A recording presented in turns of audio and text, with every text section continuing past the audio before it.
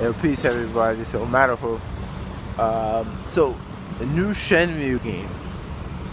You know, as much as I want the new Shenmue game to be successful, I'm I'm kind of concerned. Uh, for one of the biggest reasons, um, all of the people who grew up playing Shenmue, like you know, I first had it on uh, Dreamcast, Sega Dreamcast, but that was almost 20 years ago. You know, and I had uh, the sequel but I mean, we're older now, and I still at the I still want to play. You know Shenmue, but I'd rather visit Japan.